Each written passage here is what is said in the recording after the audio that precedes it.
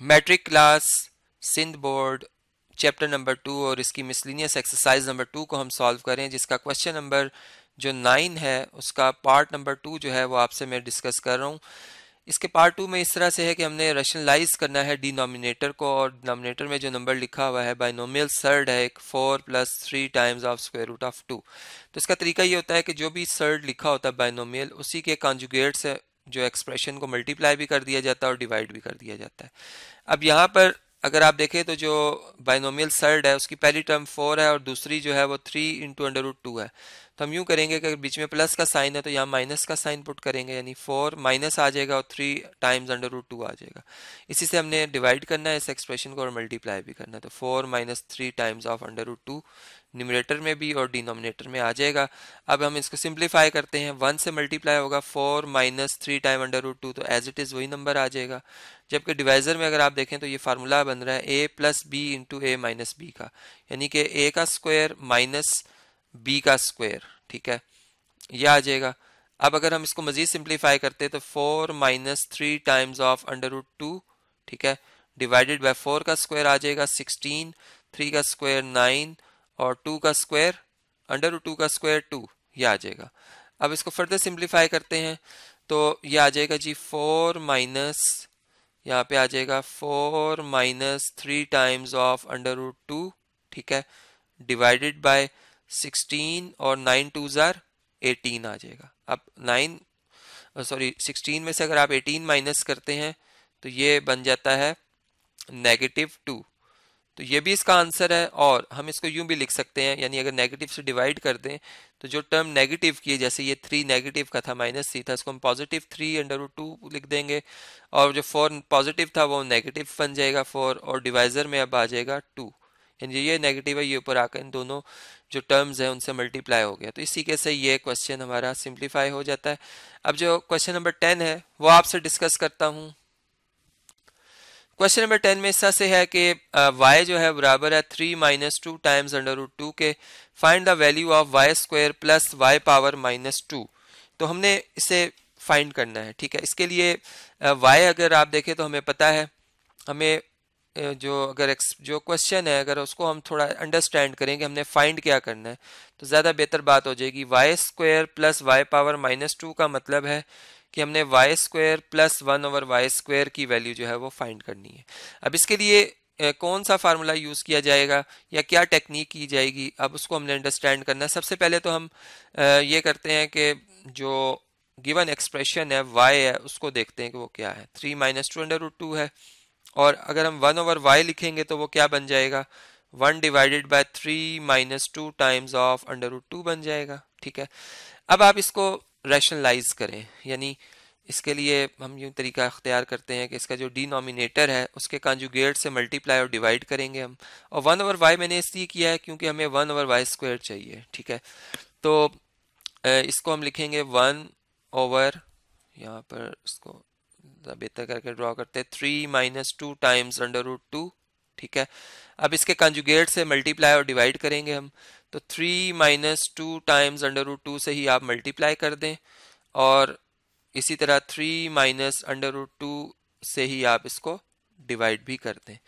अब देखें, जो न्यूमिनेटर है, वो न्यूमिनेटर से मल्टीप्लाई होगा तो three minus two times of under root two आ जाएगा। डिनोमिनेटर डिनोमिनेटर से मल्टीप्लाई होगा तो ये फार्मूला यूज़ होगा a minus b into a plus b का, ठीक है? अच्छा सॉरी यहाँ पे अगर ये माइनस का साइन है तो हमें कंजुगेट के लिए यहाँ पे प्लस का साइन लेके आना है, ठीक है? चूँकि हमारा जो एक्सप्रेशन है, उसमें थ्री माइनस है बीच में टू अंडर रूट टू तो यहाँ पे प्लस का साइन आएगा। सेम इसी तरह, नीचे जो है a minus b into a plus b इसका फार्मूला लगाए तो a square minus b square आ जाएगा, यानी टू अंडर रूट टू का होल स्क्वायर इस तरीके से आ जाएगा। अब इसको अगर हम मज़ीद सिंप्लीफाई करते हैं तो ये three plus two times of under two ठीक है? और डिवाइडेड बाय थ्री का स्क्वायर नाइन टू का स्क्वायर फोर और अंडर टू का स्क्वायर टू आ जाएगा, ठीक है? ये इस तरीके से आ गया। अब इसको हम फर्दर सिंप्लीफाई करते हैं। चलें, इसको मैं थोड़ा सा सेपरेट कर लेता हूँ। तो वन ओवर वाई जो है, वो किसके बराबर आ रहा है? वो यहाँ पे आ जाएगा three plus two under root two ठीक है? Divided by nine minus eight अब नाइन में से अगर एट माइनस कर दिए जाए तो पॉजिटिव वन आता है। तो three plus two under root two divided by one और वन से अगर हम डिवाइड करेंगे तो सेम यही ऊपर वाला रिज़ल्ट यानी three plus two times of under root two आ जाएगा। ठीक है? अब हमें y भी पता चल गया और वन ओवर वाई भी पता चल गया। अब हम जो हमारा क्वेश्चन है, जिसमें हमने वाई स्क्वायर और plus y power minus two को फाइंड करना है वो हम बड़े आसानी से फाइंड कर सकते हैं। अब इसके लिए आ, मैं स्क्रीन पहले यहाँ पर क्लियर करता हूँ फिर आपसे डिस्कस करता हूँ। जी तो y और वन ओवर y की वैल्यू जो है वो मैंने यहाँ पे अलग कर ली है। हमारा क्वेश्चन था कि हमने y square plus y power minus two को फाइंड करना है यानी y square plus one over y square तो हम इसको यूँ कह सकते हैं कि ये y होल स्क्वायर लिखा हुआ है और ये वन ओवर वाई का होल स्क्वायर लिखा हुआ है, ठीक है?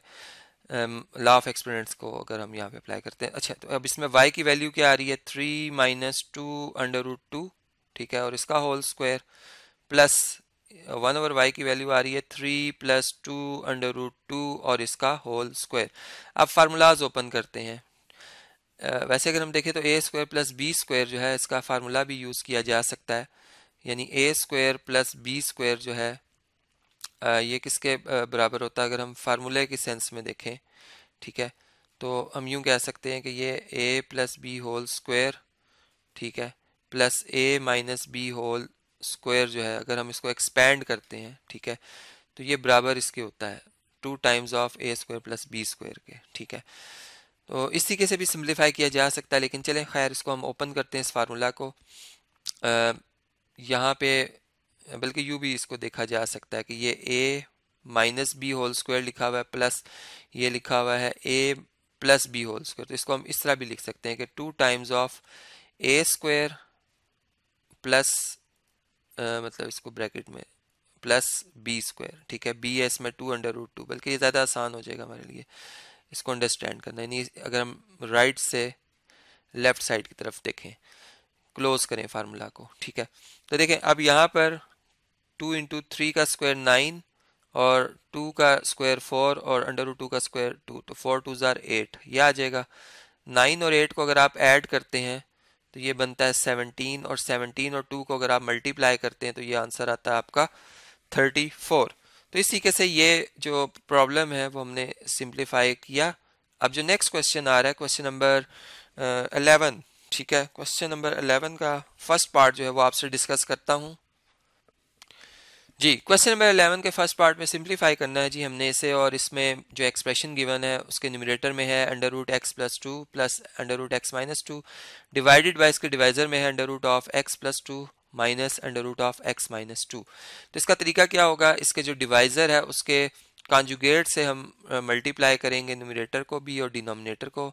तो यहाँ पे एक्स प्लस टू यहाँ पे अगर माइनस का साइन है तो हम यहाँ प्लस का साइन पुट करेंगे बीच में और square root of x minus two लिखेंगे, ठीक है?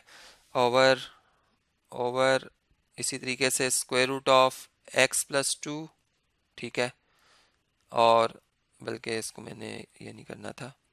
यहाँ पर ऐसा कर लेते हैं, plus square root of x minus two, ये कर लेते हैं इस तरह, ठीक है? और यहाँ से ये अंडर रूट का साइन रिमूव कर देते हैं इतना सा। चलें जी, अब इसको हम मज़ीद सिंप्लीफाई करते हैं। तो न्यूमिनेटर्स आपस में मल्टीप्लाई होंगे, ये दोनों अगर आप देखें तो एक जैसे हैं, यानी ए प्लस बी और ए प्लस बी तो a plus b whole square हो जाएगा। इसको हम लिख सकते हैं under root of x plus two plus under root of x minus two whole square ठीक है, ये चूँकि एक जैसे एक्सप्रेशन है।